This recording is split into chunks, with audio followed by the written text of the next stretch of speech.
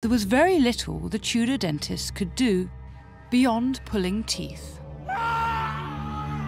Sugar had been a fantastically expensive commodity throughout the Middle Ages, but in Tudor times the price dropped sharply. From nowhere, sugar became the must have item at any well to do meal. If you look at the mandible, you can just see there you've just got roots of the teeth where they've just really sort of been rotted away and the decay has completely destroyed all of the enamel.